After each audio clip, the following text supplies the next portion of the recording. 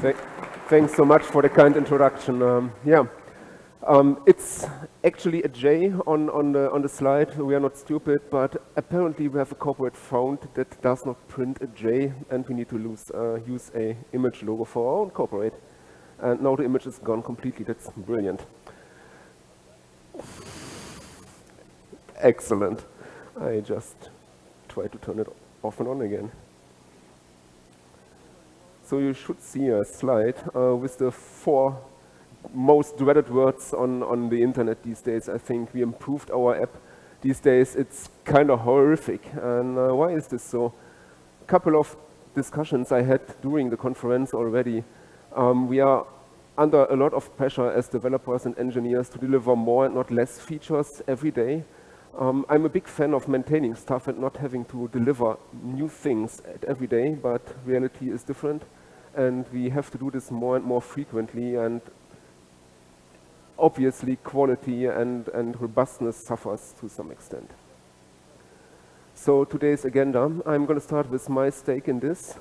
We briefly speak about mocking and I probably should have added a bullet point about end-to-end -end testing uh, there as well. And then we take a short trip into the dark ages down to memory lane and learn how Spring Boot, declarative configuration, Docker and containers improve this stuff quite a bit. And I will then speak about a topic that's near and dear to my heart, uh, about embedded testing. So everything in this talk is about testing bigger components that you speak to from your application. Think about databases, um, event stores, messaging systems, and the like. Some of them can be embedded, uh, and this is helpful or not, we will see. Then we bring in the whale in the room, test containers, and wow, time flew. It's already five years since Quarkus entered the scene and brought a bunch of fresh ideas to the whole thing. And we will finish then with how Spring Boot did involve. So I work for Neo4j. We produce a graph database with the same name. Um, I have to say, sorry, no AI today, um, but uh, Neo4j has a couple of things literally in store, pun intended, we can do uh, proper vector index store. We, um, we, can, we, we make uh, embeddables searchable. We have a nice graph data science library.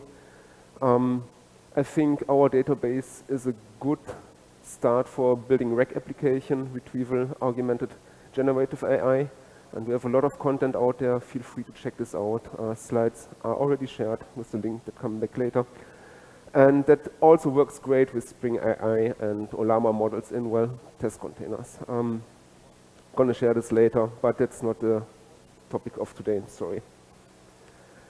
So my stake in this, um, I was asked for a, uh, kind of a slogan for, for this conference. They made us a nice um, customized t-shirts, and I said query languages are not an offense. I've been a database guy for more than 20 years, worked in a small Oracle shop, we started with client-server applications and integration testing back then was super nice and easy. We were like, yeah, stuff generated works approximately fine, and then we gave it to testers. They had their, their sheets with the numbers, could compare things, all good, easy. Fine life, also made money. Things got wild with Java, Spring, and ORMs. I mean, even we couldn't stop time, went on the enterprise, and you got this whole object mapping thing. And you really need to think from that perspective, what do I want to test here? Do I want to test the queries the object mapper are generating? I, syntactically, I hope not, because that's why I'm using an object mapper with generated queries.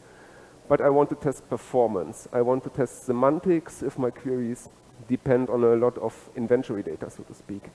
And then don't get me started when you write custom queries. I'm a big fan of custom queries always use a database, your store the way it's meant to, not a library that needs to have a common baseline thinks it should be used. Something funny happened then. I got hired by Neo4j.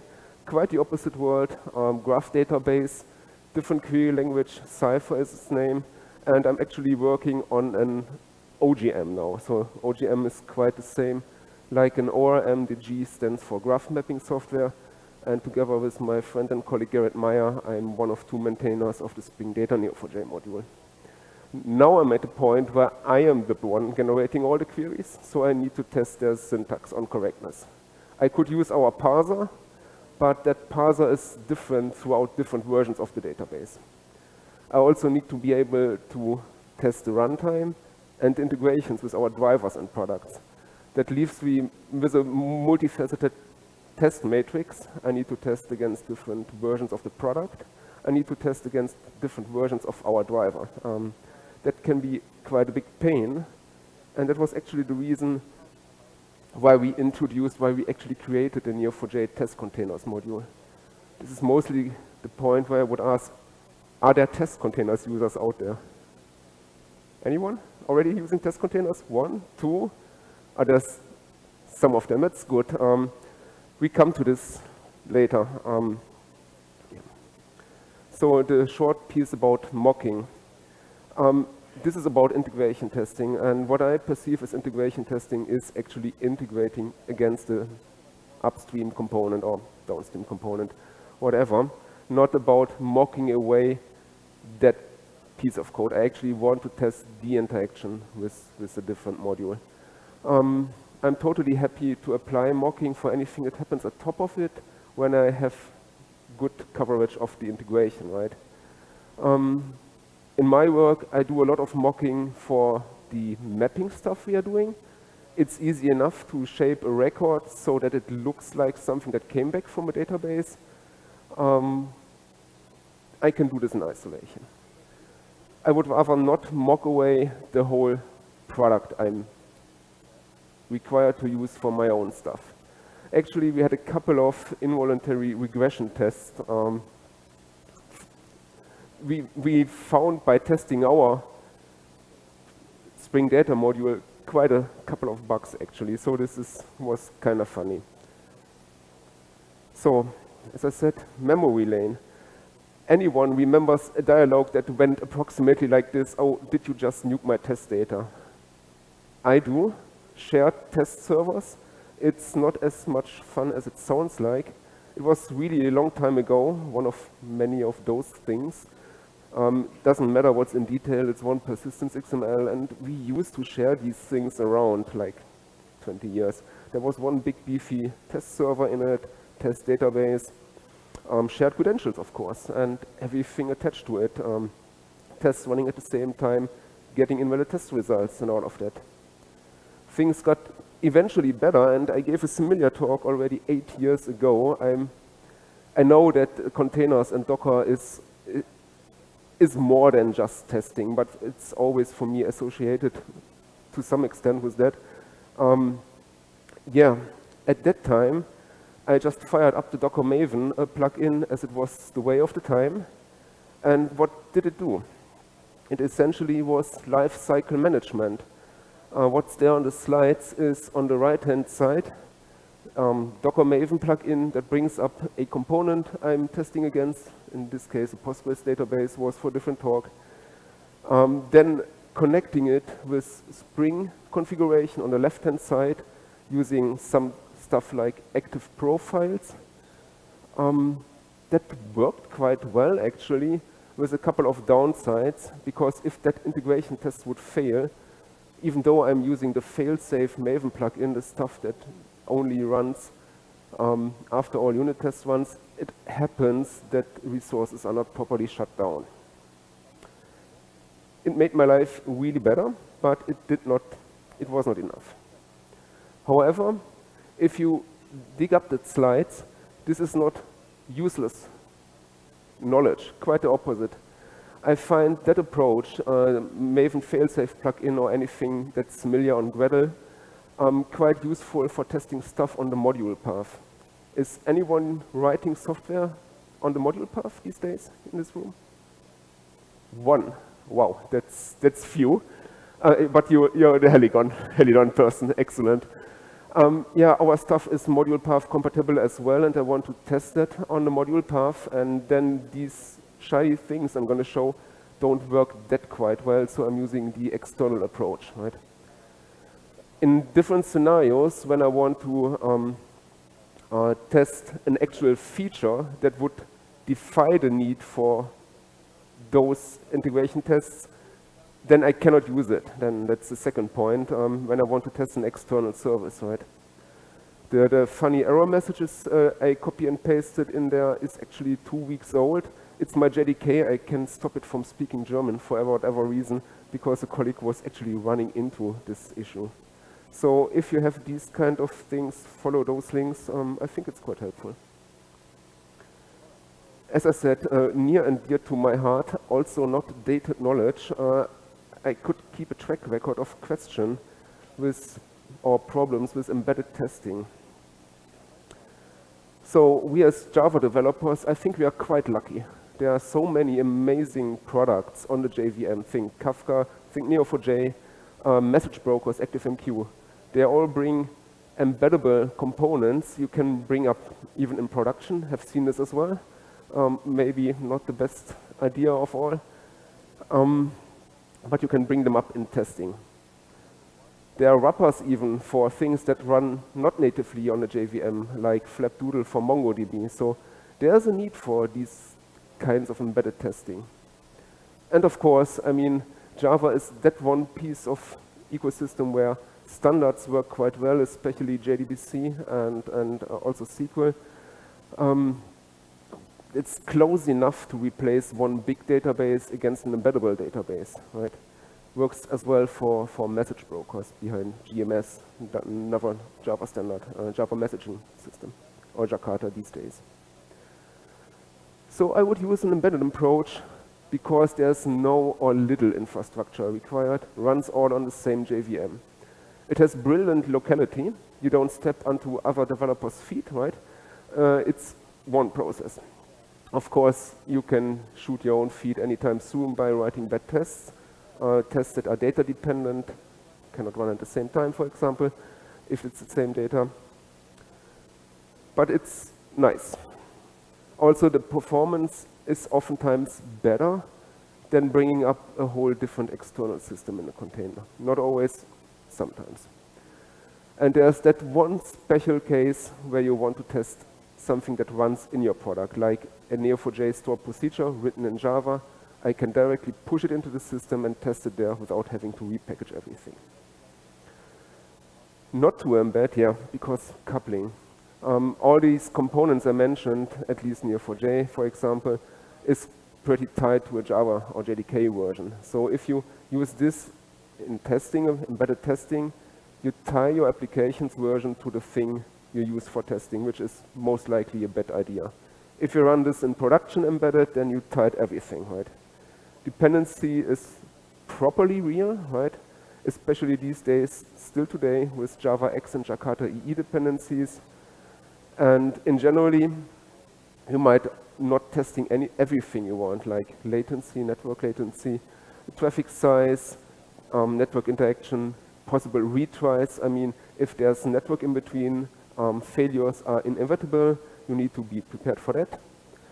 And eventually, just because there's an abstraction X, um, that doesn't even mean that the query language is syntactically fully compatible or even semantically, right? Uh, so you might having green tests without any value because you substituted the thing you actually wanted to test. So I'm going to show you a quick demo for the case not to embed and um, switching to my IntelliJ here. I'm going to share the repository with you uh, after the talk.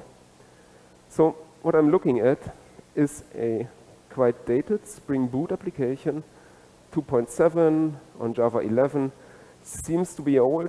Um, I show you that there are many applications out there still on 11 or older. Is depending on the Neo4j Java driver, um, Spring Boot test framework, and an older version of Neo4j in the test scope. I'm skipping the whole Spring Data stuff here. It's not interest to this talk. I created a super simple repository that creates movies inside our database. So creates a movie, and uh, that's how a merge statement looks in Cypher. And finally, there are tests for this stuff. At Spring Boot test, it's a good indicator that this stuff is an integration test usually. And what we have here is an embedded Neo4j and this is how you would start an embedded Neo4j with a um, builder method, and you just run it. Here in this case, I'm already using something that uh, still is not all that widely used, the dynamic property registry of Spring.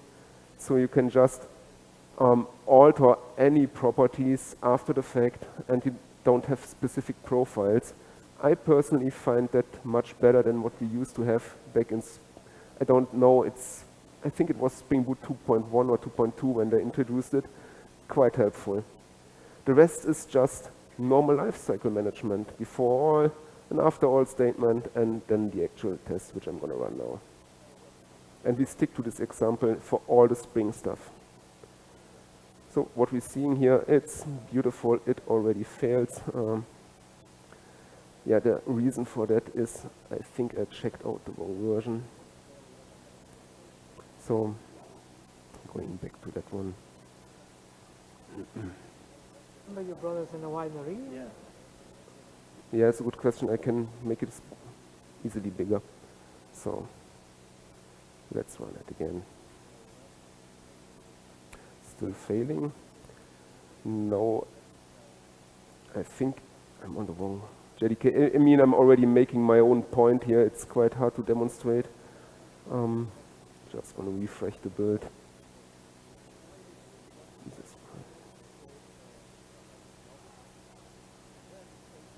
I had a green build moments ago. Anyhow, that's just brilliant. What I'm looking at is already a linkage error. I think I'm running this test on the wrong Java version. So Neo4j 4 is Java 11. I think I'm still bringing up 17 here for whatever reason I cannot get behind at the moment. And if I would try to upgrade things here, for example, let's go to 17, that's what I wanted to show, and Spring Boot 3.1, I would need to bump the module settings here, go to 17. Ah, yes, I was running with 17 all the time. So we get the exception we've seen before. Um, you tied your testing against the product you want to test. If I try it the other way around, getting uh, a newer Neo4j version into it, 5 something, it's Java 17 based, so the combination should actually work. Try this again.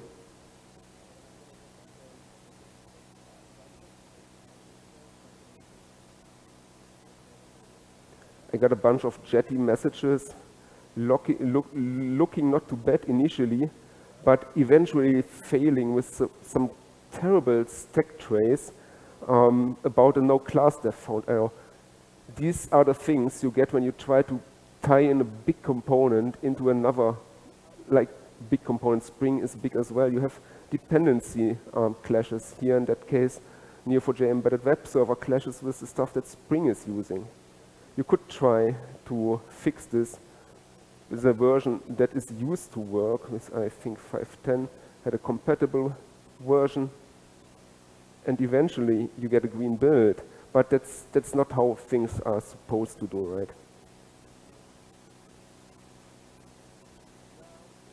That would work now, but the next upgrade would be similar painful. So I'm just checking out the next step and then go back to the presentation. So what we've seen is that if you try to embed things, you, you're kind of screwed. So test containers, the whale in the room. Test containers is for me not, not a framework, it's a library which actually codifies the lifecycle management we've seen in the, in the old days, right? It's a, then a wrapper for real services running in containers. So to be able to use test containers, you have two options. You need to have Docker locally installed on your machine, or you can use the offering from AtomicJar. These days, it belongs to Docker Inc. running test containers in the cloud. I think it has a beautiful API for accessing and manage everything that's running in the containers, including the ability to start up multiple containers at once, connecting their network and making them speak to each other, which is highly valuable if you run tests against cluster. So it then couples the life cycle of this container to the lifecycle of your test. That's basically all. In a before test, it starts all the required services, reconfigures the stuff, and then you run a test. after the test, and that's it's a very important point. It safely cleans up your resources, regardless of the way you build, regardless if you use Maven, failsafe, or Gradle, or whatever. It's that library that takes care of it. And that is a part of that guy. It's Ryuk, Japanese uh, god of death, which usually takes notes of people's name in a book and puts them to bed. Um, it's not that harsh in test containers. Um, he sticks around, takes a note of what containers were brought up and kills them. Um, that's, that's the second container image you see when you do a Docker PS after using test containers. There will always be Ryuk. Um, I added that slide uh, relatively on short notice because I thought, well, just because I'm a database guy, there's more to it. Everything that we're going to see in a second uh, can be applied to other interesting topics, like if you were to example test against AWS, you don't always have to use AWS or GCP. There are modules for that as well. They work all the same like the database models. There's also, as already mentioned, uh, LLM models and modules for that, quite helpful uh, for building your local stack for, for anything generally. So, right back into the demo. So I already checked out a newer version of um, my project, still on 2.7, but importing the test container BOM. For those of who, who don't know this, uh, these builds of materials are quite helpful if you're using stuff that comes with a bunch of modules, different modules, and maybe in different versions. These BOMs manage them for you. It's only one version you have to take care of, and then you can, where is it? Just use that one piece here without any version. That's, that's quite helpful. So what we see now in the repository test, the repository under test is exactly the same. Is first of all an annotation um, at test containers that I always put in there, at least in our open source projects. I want people to be able to contribute even if they don't have Docker installed locally. What it does, it just skips the test if you don't have Docker. The Neo4j instance here is not anymore a Neo4j embedded version, but the test containers module. The start here looks surprisingly the same. It's, the builder has different names, but it's just names. What it does here is I pick one image, the 4.4 version, to stay in, in the context in the story. I wait for Bolt. Bolt is not the dog uh, from the from the movie, nor nor any lightning. It's it's a protocol that Neo4j uses under the hood. And then I set a reuse flag. So you don't have to do this, but this is quite helpful when dealing with performance. You can tell Ryuk not to take a node and keep that container around. So this is helpful that you don't have to restart these things up. Same approach with the dynamic property sources, reconfiguring the framework, and hopefully things work now as intended on the first try.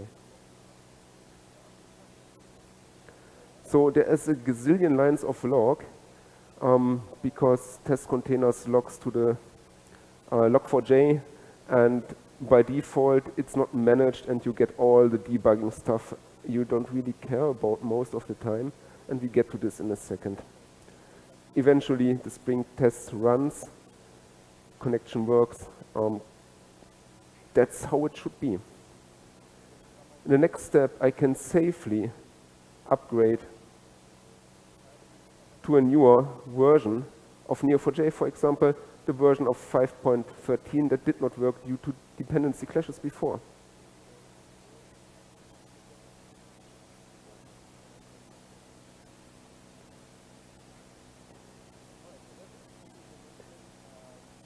test runs. It's also quite quickly. And um, it tells me at this case I could not find the reusable container. That's the reason for that is I used a different image before. If I run it a second time, it should be way faster. It's milliseconds now instead of a minute. And it tells me it's reusing an existing container. Quite good stuff, I think. So we will leave the Spring ecosystem for a second at this point. And, um, oh, oh yes, before we leave, how does that help me as a library developer? And how does it help me with my test matrix? For example, I can configure the image name via um, system properties, setting them by default in my build script so that it works out of the box, and then reconfigure them on CI via properties, different profiles. I already told you about the reuse flag that makes it quite a bit faster if you have a lot of tests. Uh, you only have to make sure that you have data independent tests for each other. Um, it's quite easy to provide an extension to JUnit that skips incompatible versions, so we don't have images for, for the old versions of the database that run on ARM64. Of course, all of our modern products run on ARM64. Um, that really made my life a lot easier. Of course, this is a bit smaller, I'm sorry about that.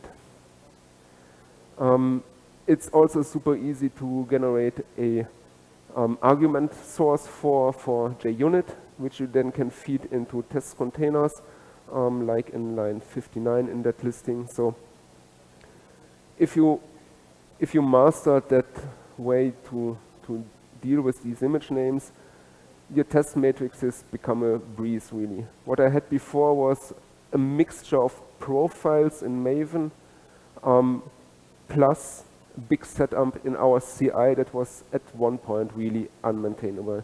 Doing this via profiles helps a lot. So new challengers entered, entered the grid. Um, I really forgot which of the fighters was new in Street Fighter 2. I think one of the Asian women was new, but doesn't matter. Um, Quarkus, initially released in 2019. The fun fact is I was always super attached to the Spring ecosystem. As a matter of fact, I wrote a book about it. But as a vendor, I'm pretty interested that we as Neo4j are on this platform. And uh, we work together quite closely with the Red Hat team on that.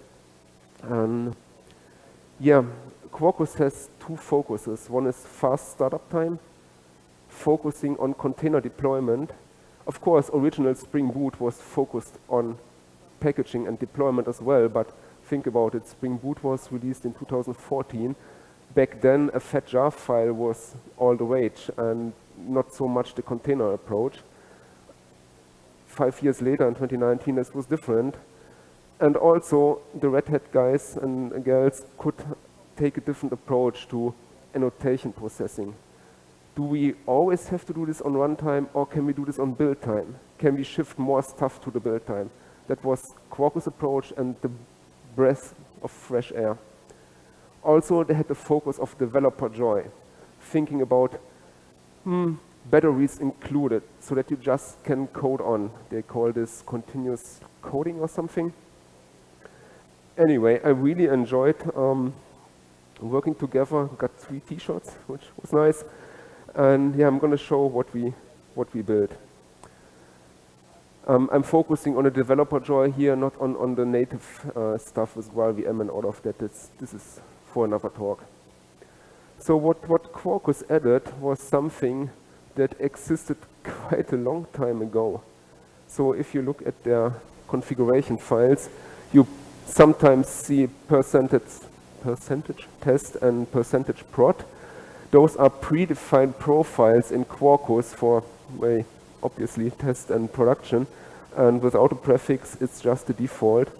This is quite well known, for example, in the Ruby on Rails world. They had this back in 2005 or something, but you know how this is. These things repeat after a while. Without test containers, though, that approach, or without managed components, it suffers from the same things like passing around at persistence XML, right? You will hard code your credentials and your URLs in there, which is not so much joy. And what we're going to see in a demo here is um, how a Quarkus integration test and developer service can run. So going to that one, need to use that one. So this is straight uh, from our Neo4j OGM integration with Quarkus It's, it's, my, it's our own integration tests here. Um, what I'm dependent on is the Neo4j OGM Quarkus module and the Quarkus JUnit test. Nothing else, actually. That's the batteries included approach and maybe an approach that is debatable. But let's come to this in a second.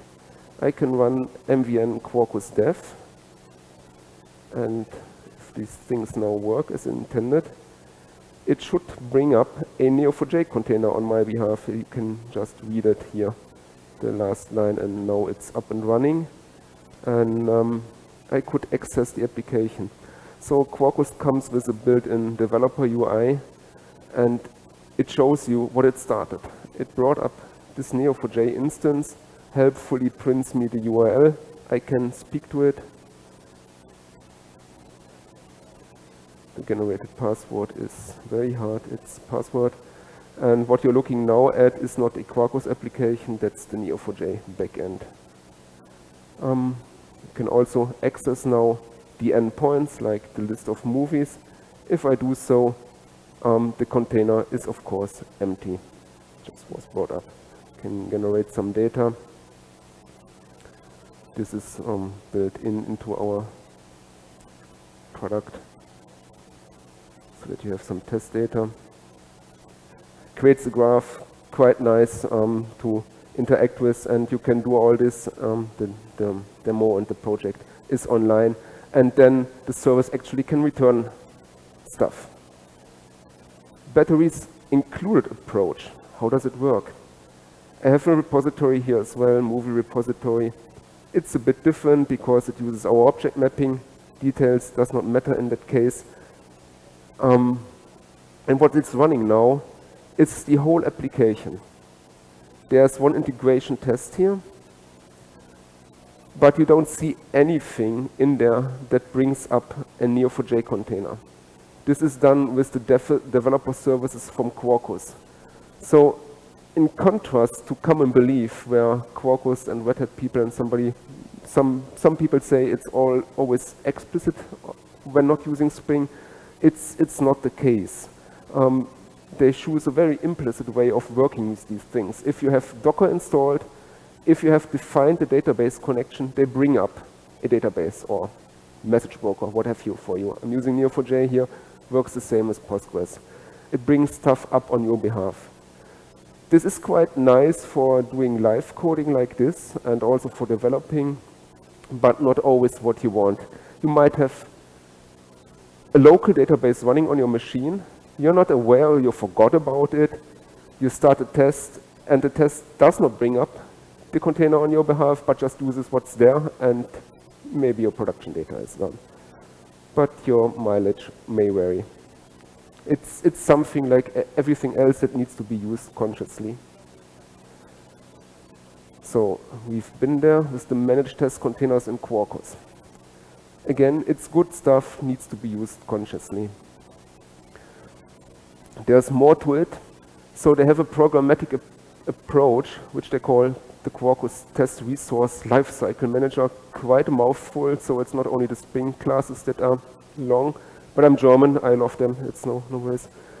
Uh, it can enhance uh, the environment similar to Spring Boot's dynamic properties, and there's an API for connecting containers directly. It's super nice to building cluster applications, stuff like this. And eventually, um, back to Spring Boot. Um, so the flaming Hadouken was added in Street Fighter 2. This was new. Um, this week or last week, Spring Boot 3.3 was released, so that number on the slide is already dated. But 3.1 introduced managed test containers dependencies in Spring Boot. So we don't have to need to pull on this dependency management anymore. And they also worked on the logging so that you don't get all these logs in your face, which I find super helpful, especially on CI, so that I don't have to take care of cleaning up those logs. There's, new, there's a new interface, the connection details. It's a plain and empty interface. It's just a marker for a generic contract that points to anything running in a container or on a different system, right? Um, there are enhancements for uh, implementations for JDBC, bunch of dedicated relational databases, Neo4j, Kafka, and Cassandra. Of course, there's a new annotation. The at service connection in Spring Boot 3.1 and higher brings the test containers into your Spring context. And then again, a mouthful augmented main classes. And for once, the Spring Framework people got very explicit actually, and way more explicit than, than Quarkus. Let's have a look at this. Um, I think I'm going to just skip over that image and show you in code. So I'm leaving the Quarkus demonstration right now, and I'm getting the latest version of my demo, which I updated last week or so, just prior to 3.3, and I'm not going to change this now as we speak. So what's missing here is the import of the bill of materials from, from test containers, right? I only have the Spring Boot starter test, the Neo4j, uh, sorry, the JUnit Jupiter test containers module, and eventually a concrete implementation. When I jump over to the repository test, it's essentially empty now. It fits on the, the whole class fits into one screen and it's just runnable. Let's see if I did not make too much promises. And what I see here is, is quite beautiful. I see test containers information, logged on info, super nice. Um, using test containers desktop, I could log into my containers from their application. Um, some relevant information from where an image comes, and that's about it. Um, I also got the information that it's reusing a container and I see only the relevant pieces. I like that improvement in the latest Spring Boot versions a lot. Um, there's only the test class, but here's the, the, the main change. It contains an imported um, configuration class, and I can jump into this. And what we see here is test configuration, specific test configuration, and then standard Spring at bean plus at service connection, returning a new Neo4j container. And in the Spring world, this is tied to a connection details, looking connection details. Um, as, as, as I promised, it's an empty interface. Oh, downloading sources worked out of the box. That's nice. And jumping to the Neo4j one. So the methods in here are the basic stuff that comes out of the box with Spring Boot. You could overwrite it, you could run your own stuff, but these things are automatically instantiated when you bring a service connection like this with a known container. That's everything. You don't need to pester with the properties anymore, it just works. It even takes this thing into account. So Season Spring application developers know that beans usually have a life cycle as well, and they are um, torn down after usage. Um, these beans are also, of course, torn down after usage, but they won't stop the container.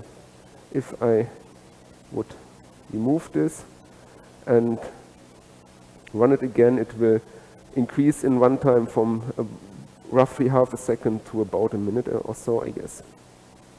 So it's very well thought of and integrated. So it, yeah, it was it was a bit more than a second, not a minute. Addressing the um, developer joy. I have a test application right in test scope here. So during development, and of course, uh, we write test first, but it's a lie. Many of us just sit down, hack away stuff, and that's the reason why the dev services in Quarkus is so popular. We can have this in Spring Boot as well. So we can tell a Spring application created from any application main class, and as usually I try to leave this quite empty, is created and it's augmented with that specific service connection here. And it then runs. In this demo, I don't have a web endpoint or something. I just have this application that connects to Neo4j, verifies connectivity, prints out a line, and is, is done, right? If I would not augment this application, this verification will immediately fail with an exception. So, but that's not that's not the point here. The point in here being is the explicitness. Um, I'm a big fan of of keeping these two here, main and test, separately. And from my perspective, that development services really belongs into testing. It's not something you, or at least I want to have on the main class path. I really dig this approach. It's, it's great. You can have this in main if you want, of course, but I would rather scratch my eyes out than to have this on main. Actually, that is terrible. So that would be necessary if you want to have these augmented classes on main and just don't go there.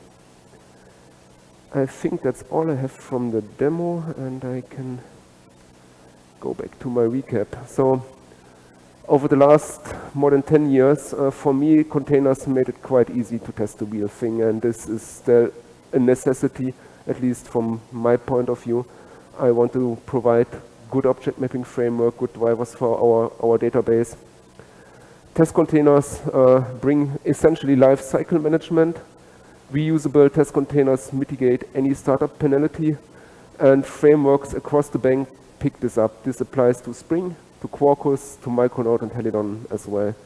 And um, yeah, last but not least, I think what's important here is, is uh, the mutual respect and inspiration across the Java ecosystem, which I'm one of the biggest fan of because it's unique uh, and, and we should be thankful for it to some extent. Yeah, that's, that's all I have. Thank you so far. And uh, I think we have about five minutes for questions if you have any. Thank you.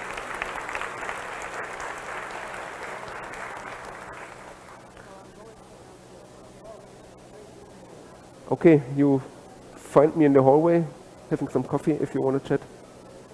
Feel free to say hello. Thanks.